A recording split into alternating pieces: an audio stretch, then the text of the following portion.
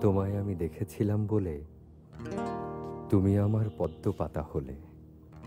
শিশির কণার মতন শূন্যে ঘুরে শুনেছিলাম পদ্ম পাতা আছে অনেক দূরে। খুঁজে খুঁজে পেলাম তাকে শেষে। নদী সাগর কোথায় চলে বয়ে পদ্ম পাতা জলের বিন্দু হয়ে। কিছু কথা চেনা চেনা, কিছু গান শোনা শোনা, কিছু সময় তোমার আমার একাকে কাটে।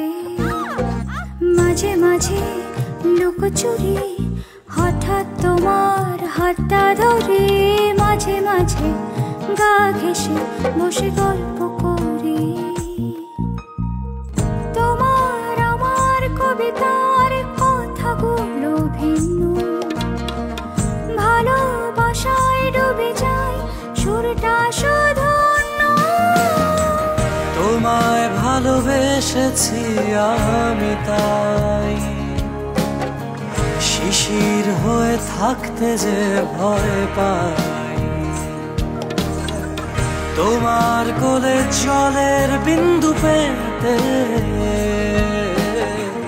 চাই যে তোমার মাঝে মিশে যে